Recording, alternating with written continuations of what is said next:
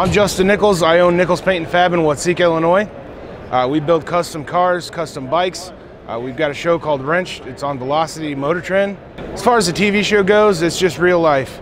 Uh, the production company found a bike that we built quite a few years ago, and they called me, and they, we did a little Skype interview, and then they sent a film crew out, and they haven't left since. So we've been filming for a couple years now. It's been crazy, just growing the business, growing the show, everything.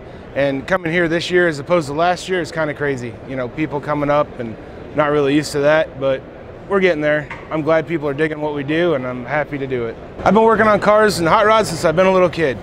My dad got me into it. I remember going to car shows as a kid with my dad and just kept snowballing from there. I'd start picking out what I liked. We'd go back and forth with him and we'd go back in the shop. We'd build cars and do paint jobs.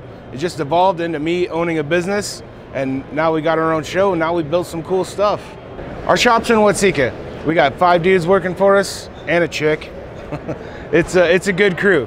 A lot of people say they got the best crew in the world, but I definitely do. You know, there's Ziggy, Nick, Matt, Kyle, Megan. We just get stuff done. We build cool bikes, cool customs, hot rods. I mean, full paint jobs, just a little bit everything. I remember as a kid seeing the Wizard products just hanging out on the shelf I was like, well, if dad uses them, they got to be cool in my book. So as I went on and started doing paint work and this and that, and I realized, hey, this stuff is really good. So that's all I've used in the past, and that's what I'm going to use in the future. We obviously use all the Wizards products, but my favorite's probably the Big Throw polishers. The big one does awesome on cars. You can get in there with trucks, everything. But they make a mini one too, which is awesome for bikes. We do a lot of bikes. There's a lot of weird lines going on, small, hard areas to get into. This thing gets in there and just digs it out and shines it up, and it's awesome.